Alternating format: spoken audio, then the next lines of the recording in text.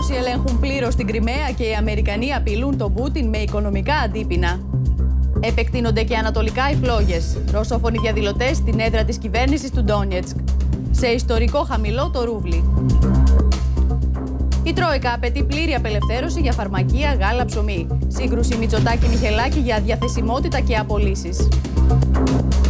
Πόλεμος ανάμεσα στον Άδωνη Γεωργιάδη και το Πασόκ για το 5 ευρώ στα πολυιατρία.